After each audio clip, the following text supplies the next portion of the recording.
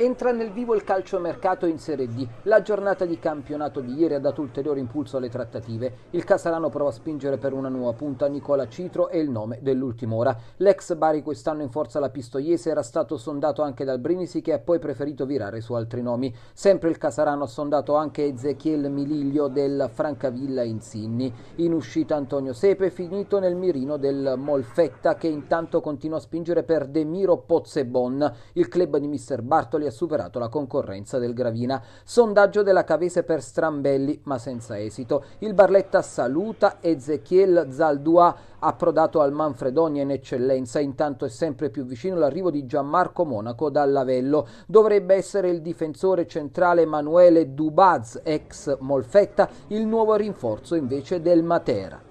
Come anticipato dalla nostra redazione, il Nardò insiste per Addae, attualmente al Charlins Muzane. Il centrocampista ex capitano dell'Ascoli tornerebbe nel girone H così dopo le esperienze con Bitonto e Lavello. Il Brindisi attende notizie da Picerno per Lorenzo Liurni. Il calciatore ha dato l'ok all'offerta dei biancazzurri, ma deve trovare l'accordo con i Lucani per la rescissione. Non si è ancora sbloccata invece la trattativa tra Altamura e Basanisi. Il centrocampista gradirebbe il trasferimento ma la società per ora non lo vuole liberare.